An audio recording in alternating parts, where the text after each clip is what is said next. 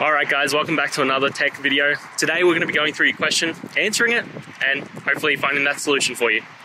Now, don't forget to stay just a little bit crazy like me, and hopefully you'll get to that resolution. Anyway, on to the video. Cheers.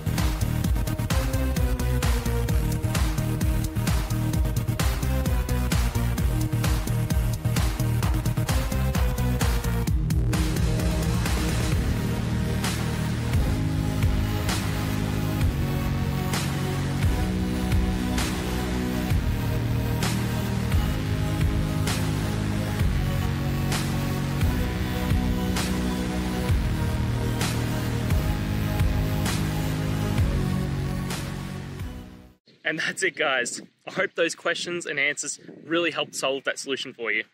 If it did, please hit subscribe. I'd really appreciate it. Now, until you need next technical video, I'll be here. Have a good one.